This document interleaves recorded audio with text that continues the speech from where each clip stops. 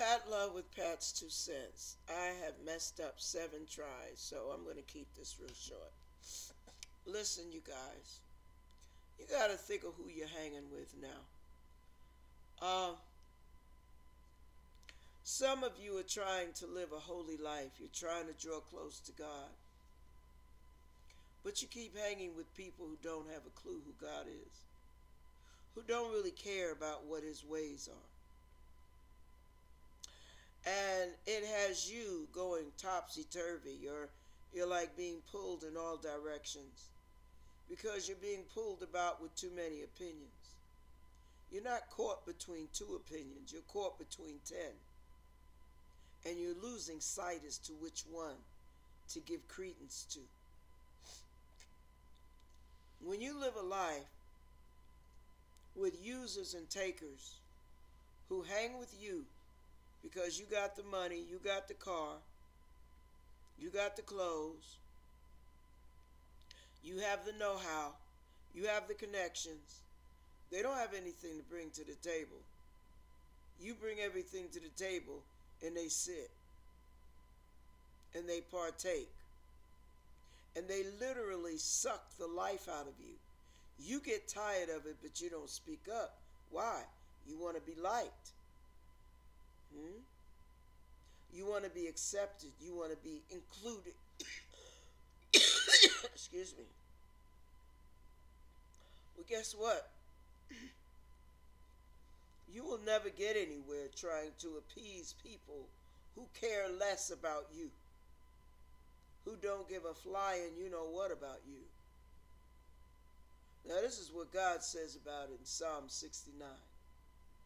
Blessed is the man that walks not in the counsel of the ungodly, nor standeth in the way of the sinners, nor sitteth in the seat of the scornful. So, what are you doing there? Why do you keep doing that? Those people don't care about you. Cut those suckers loose. They don't care about you. They want what's in your pocket. Some of them want what's in your zipper. Some of them want what's in your car. Want what's in your house. Now that can go a whole lot of directions right there. But you know deep down in your gut, you need to cut some of these fools, and I do mean fools, out of your life. Their judgment is foolish. Their choices are foolish. Their life is foolish. But it's hard for you to say no because you don't want them to be mad at you. You better cut that crap loose because you know what's going to happen. I know you've heard of crabs in the barrel, but the higher you try to go, the more they'll hang on you I mean, they will hang on you. And the more they hang on you, guess what, baby? Down you go right there with them to the bottom of the barrel. You got to climb your way out and keep stepping. Because they're not trying to come out of the barrel, they're hanging on you. Cut them loose. I don't know who you are. But that is every time I try to redo this tape, it still ends up being about that. Cut these people loose. Stop walking in the counsel of the ungodly. Stop standing around in the way of sinners. Stop sitting in the seat of the scornful. When God comes, in verse 4, and he says, The ungodly are not so, but are like the chaff which the wind driveth away. Do not get driven away with riffraff. You have to make a stand for your own life, for your own destiny, for your own freedom. You're not the welfare office.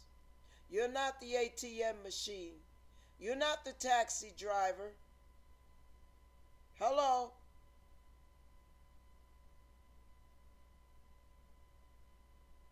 And you're not the bondsman to come bail them out of their crap every time they make a stupid choice.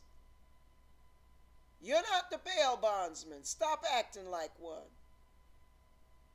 Leave them alone. Let God handle them.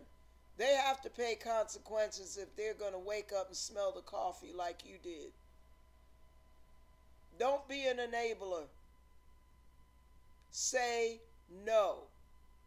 Sometimes it's more Christian to say no. Okay, I'm done. I hope you hear that. God bless you in this new year, in these last days, where people are scoffing at people like you.